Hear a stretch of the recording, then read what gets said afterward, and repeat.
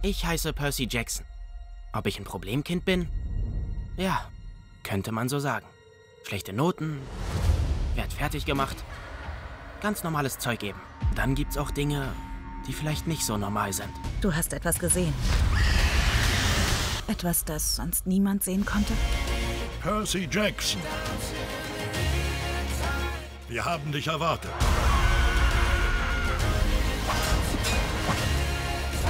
Der Herrscherblitz wurde gestohlen. Du musst ihn zurückbringen. Denk daran, was ich dir beigebracht habe.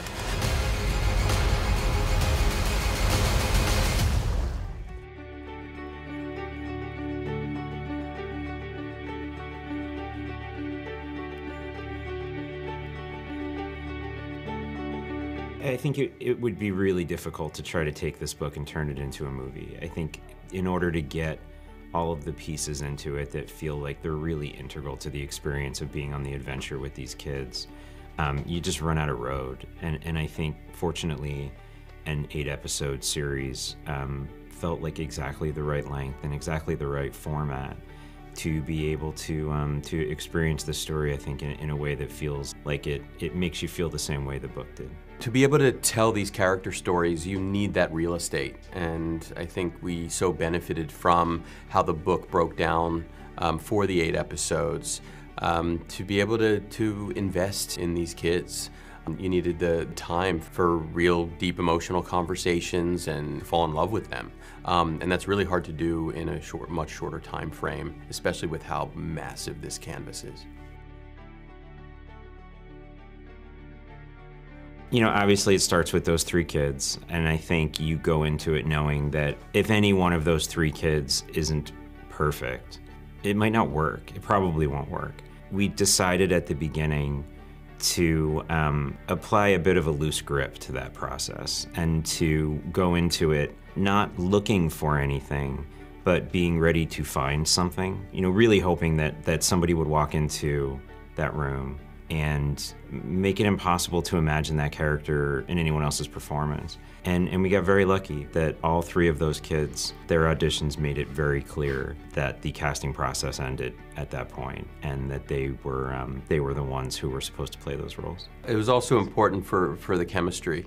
Um, you know, making sure th these kids are in almost every, you know, scene together for majority of the season. And so it was making sure that there was that perfect fit uh, amongst them. So it wasn't only just casting the individuals who we knew, you know, the moment we saw them, they were it. It was also how are they all going to work together. And what I can say is 160 days later after shooting this, they still adore each other. And there is such a bond between them that I think it comes out uh, in their performances. Um, there's just such a deep professionalism and respect from these kids um, for each other, and it's, it was a really beautiful thing to watch.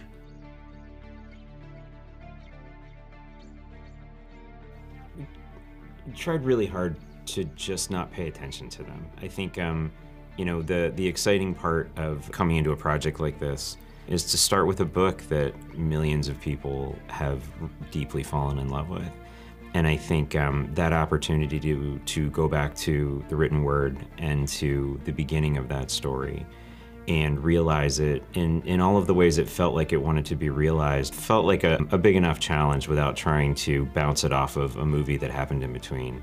I think um, the movie, the musical, um, are, are other people's projects from, from a different time in a different context. And I think this one we wanted to, um, to let it be the most organic version of um, adaptation of the book that we could imagine.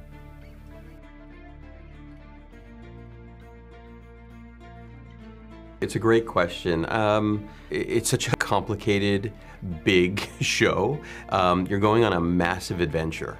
Um, and so it's creatures in every episode that are brand new. It's working with kids who can only work about five and a half hours a day.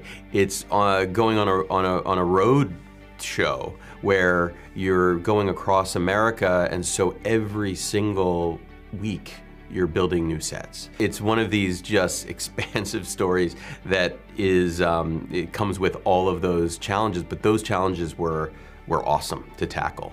Um, you know, you don't get that opportunity very much in, in, our careers where you get to be able to figure all of that out and create um, all of these worlds. So we looked at those challenges and, and that was exciting to us.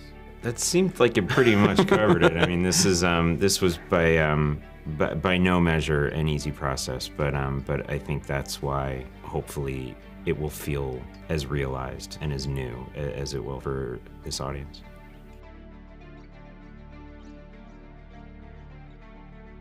I hope that if you are a fan of the book, if you've been a fan of the book for a long time, it will feel like um, everything you wanted it to be and some things you weren't expecting. My hope is is that if you haven't read the book, that it's something that will um, that will still capture your imagination and something that feels like a um, an adventure story that really is kind of made for everyone and relatable to and accessible by everyone. I'll just add, you know, uh, so many millions of people for almost two decades have fallen in love with this story, and I think it is because they're they can see themselves in these kids.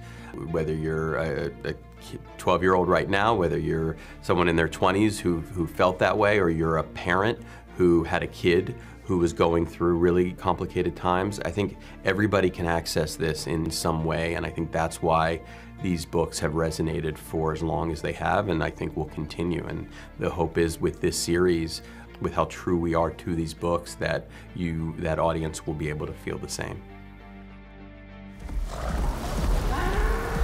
Du musst jetzt sehr tapfer sein.